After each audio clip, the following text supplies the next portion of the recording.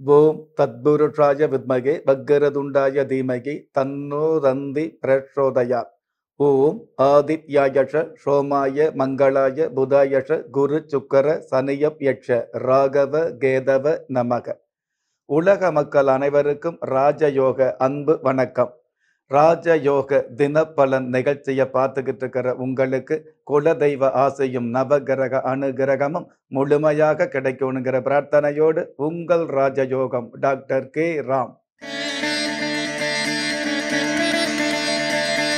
பதினேழு மூன்று இரண்டாயிரத்தி இருபத்தி இரண்டு பிலவ வருடம் பங்குனி மாதம் மூன்றாம் தேதி வியாழக்கிழமையாகிய இன்றைய திதி சதுர்தஷி பிற்பகல் இரண்டு மணி பனிரெண்டு நிமிடங்களுக்கு பின்பு பௌர்ணமி நட்சத்திரம் மகம்.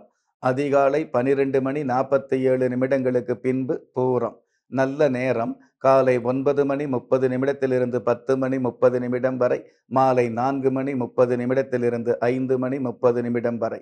ராகு காலம் மதியம் ஒரு மணி முப்பது நிமிடத்திலிருந்து மூன்று மணி வரை யமகண்டம் காலை ஆறு மணியிலிருந்து ஏழு மணி முப்பது நிமிடம் வரை குளிகை காலம் காலை ஒன்பது மணியிலிருந்து பத்து மணி முப்பது நிமிடம் வரை.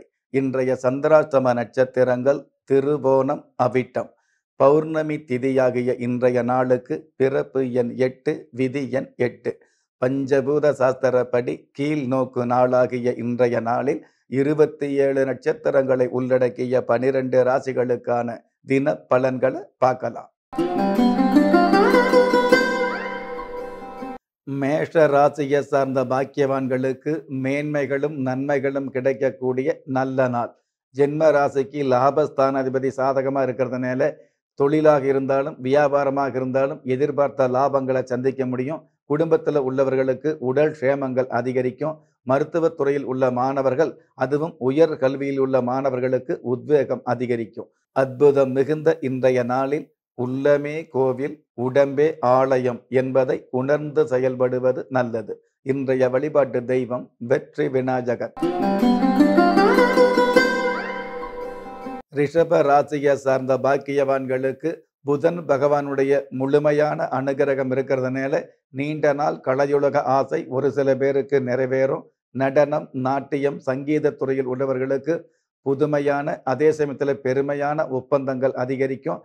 சாதகமான சூழ்நிலைகளில் கடல் கடந்து பயணம் செல்லக்கூடிய வாய்ப்புகளும் உருவாகும். அற்புதம் மிகுந்த இன்றைய நாளில் சிரமமான வேலைகளில் கவனமாக இருப்பது நல்லது. இன்றைய வழிபாட்டு தெய்வம் மகாலிங்கேஸ்வரர். மிதுன ராசியை சார்ந்த பாக்கியவான்களுக்கு அறியாத அதிர்ஷ்டங்களை அறிந்து கொள்ளக்கூடிய நாளாக இன்றைய நாள் ஆரம்பமாகுது. ராசி அதிபதியும் தனஸ்தானாதிபதியும் சாதகமாக இருக்கிறதுனால எடுத்த காரியங்களில் தொடுத்த வெற்றிகளை சந்திக்க முடியும். திரைத்துறையில மறைமுகமாக உழைப்பை கொடுக்கிற உங்களுக்கு உங்களுடைய முகம் வெளிமுகமாக தெரியக்கூடிய வாய்ப்புகள் திடீரென்று அமையும். சொந்த பந்தங்களுக்கு முன்னாடி உங்களுடைய திறமை பெருமையாக பேசப்படக்கூடிய காலங்கள் உருவாகும். அற்புதம் மிகுந்த இன்றைய நாளில் முன்னேற்றத்தின் முதல் படிக்கு அடி எடுத்து வைப்பது நல்லது. இன்றைய வழிபாட்டு தெய்வம் ஸ்வர்ணாம்பிகை. கடக ராசியை சார்ந்த பாக்கியவான்களுக்கு கனத்த இதயத்தில் வலுத்த பலன் கிடைக்கக்கூடிய நல்ல நாளாக இன்றைய நாள் ஆரம்பமாகுது. கடந்த காலங்களில் எவ்வளவு கஷ்டம் எவ்வளவு தடைகள் இருந்தாலும் அந்த தடைகள் விலகக்கூடிய நல்லதொரு சந்தர்ப்பங்கள் தானாகவே உருவாகும்.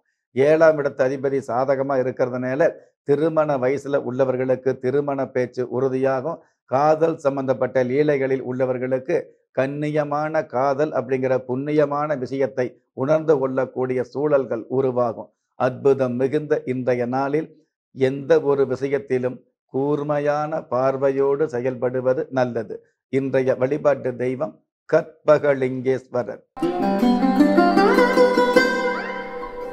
சிம்ம ராசியை சார்ந்த பாக்கியவான்களுக்கு இறைவனின் கருணை இல்லத்தில் நிரம்பக்கூடிய அற்புதமான நாளாக இன்றைய நாள் ஆரம்பமாகுது. சுகஸ்தானாதிபதி சாதகமாக இருக்கிறதுனால நீண்ட நாள் மருத்துவ தொல்லையிலிருந்து நிவர்த்தி கிடைக்கக்கூடிய பாக்கியங்கள் உருவாகும். அரசியல் சம்பந்தப்பட்ட துறைகளில் உள்ளவர்களுக்கு புதிய பெருமைகள் கிடைக்கக்கூடிய அல்லது பிரபல்யம் கிடைக்கக்கூடிய அல்லது ஜனங்கள் முன்னாடி உங்களுக்குன்னு ஒரு வசியம் ஏற்படக்கூடிய நல்லதொரு நாளாகவே இன்ற இன்றைய நாள் அமையும். அற்புதம் மிகுந்த இன்றைய நாளில் விருந்தாக இருந்தாலும் மருந்தாக இருந்தாலும் விபரமாக செயல்படுவது நல்லது. இன்றைய வழிபாட்டு தெய்வம் கபாலீஸ்வரி அம்மன் கன்னி ராசியை சார்ந்த பாக்கியவான்களுக்கு ஆதாயம் மிகுதியாக கூடிய அற்புதமான நாளாக இன்றைய நாள் ஆரம்பமாகுது. பாக்கிய ஸ்தானாதிபதியும் பஞ்சம ஸ்தானாதிபதியும் சாதகமா இருக்கிறதுனால பல்வேறு வகையில பண வரவுகள் அதிகரிக்கும். நீண்ட நாள் கலையுலக ஆசை. ஒரு சில பேருக்கு நிறைவேறும். அரசாங்க உத்தியோகத்தில் உள்ளவர்களுக்கு அதே அரசாங்கத்தில் வந்து ஆதாயமும் அனு அனுகூலமும் அதிகரிக்கும். அற்புதம் மிகுந்த இன்றைய நாளில் விரத வழிபாட்டு முறைகளில் அதிக கவனம் செலுத்துவது நல்லது. இன்றைய வழிபாட்டு தெய்வம் புவனலிங்கேஸ்வரர். துலாம் ராசியை சார்ந்த பாக்கியவான்களுக்கு கசப்புணர்வு நீங்கி காதல் பெருகக்கூடிய நல்ல நாளாக இன்றைய நாள் அமையுது.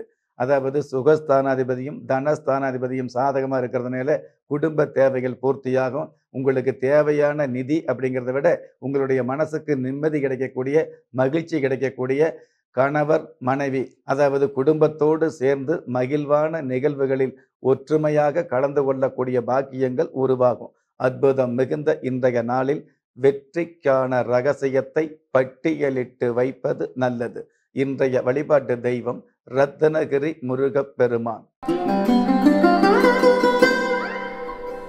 விருச்சிக ராசியை சார்ந்த பாக்கியவான்களுக்கு ஆலய தரிசனத்தால் ஆத்ம பலம் கிடைக்கக்கூடிய அற்புதமான நாள். ஜென்ம ராசியிலேயே ஞானகாரகன் கேது பகவான் இருக்கிறதுனால அதாவது வாழ்க்கைனா என்ன சந்நியாசம்னா என்ன ஆன்மீகம்னா என்ன சாஸ்திரம்னா என்ன உழைப்பு சம்பந்தப்பட்ட விஷயங்களில் உண்டான பிடிப்பு என்ன இந்த மாதிரியான விஷயங்களில் வந்து ஒரு மிகுந்த பக்குவத்தை உணர்ந்து கொள்ளக்கூடிய நாளாக இன்றைய நாள் உருவாகுது. அற்புதம் மிகுந்த இன்றைய நாளில் தின யோகத்தையும் செயல் வேகத்தையும் புரிந்து கொள்வது நல்லது. இன்றைய வழிபாட்டு தெய்வம் செல்வ விநாயகர். தனுசு ராசியை சார்ந்த பாக்கியவான்களுக்கு மேலான ஆசையும் மேதைகளின் நட்பும் கிடைக்கக்கூடிய நல்ல நாளாக இன்றைய நாள் ஆரம்பமாகுது. பொதுவாகவே ஜென்ம ராசிக்கு ஆறாம் இடத்த அதிபதி சாதகமாக இருக்கிறதுனால எதிர்ப்பு சம்பந்தப்பட்ட விஷயங்களில் மிகப்பெரிய மேன்மைகள் கிடைக்கும். வீண் வம்பு வழக்குகளிலிருந்து விடுபடக்கூடிய வாய்ப்புகள் உருவாகும். நீதிமன்ற வழக்குகள் சாதகமாகும். அற்புதம் மிகுந்த இன்றைய நாளில் அறிவை பயன்படுத்தினால் ஆகாதது எதுவும் இல்லை என்பதை புரிந்து கொள்வது நல்லது. இன்றைய வழிபாட்டு தெய்வம் செல்வ விநாயகர். மகர ராசியை சார்ந்த பாக்கியவான்களுக்கு பொன் பொருள் தேவைகள் பூர்த்தியாக கூடிய அற்புதமான நாளாக இன்றைய நாள் ஆரம்பமாகுது. ஒரு சில பேருக்கு விவசாய சம்பந்தப்பட்ட துறைகளில் ஈடுபாடு அதிகரிக்கும். ஏற்கனவே விவசாய துறையில் உள்ளவர்களுக்கு இது நாள் வரையில் ஏற்பட்ட அலைச்சலுக்கும் மேலான விளைச்சல்களை சந்திக்க முடியும். புதிய பூமி அல்லது தோப்பு துறவுகள் வாங்கக்கூடிய ஆசைகளும் அதற்கான முயற்சிகளும் சாதகமாகும். அற்புதம் மிகுந்த இன்றைய நாளில் அம்பு போன்ற வார்த்தைகளால் வம்பு வராமல் பாதுகாப்பது நல்லது. இன்றைய வழிபாட்டு தெய்வம் காசி விஸ்வநாதர். கும்பராசியை சார்ந்த பாக்கியவான்களுக்கு தித்திப்பான விஷயங்களை முத்தாய்ப்பாக சந்திக்கக்கூடிய முதன்மையான நாளாக இன்றைய நாள் ஆரம்பமாகுது.